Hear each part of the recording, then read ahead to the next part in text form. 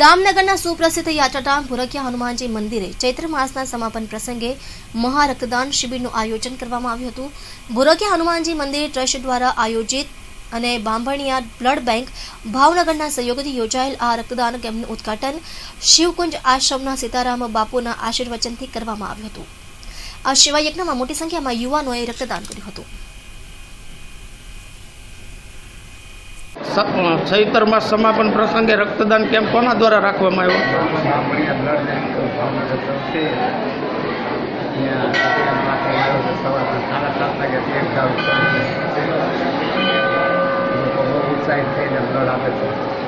વધુ બોટલ થવાની સંભાવના છે.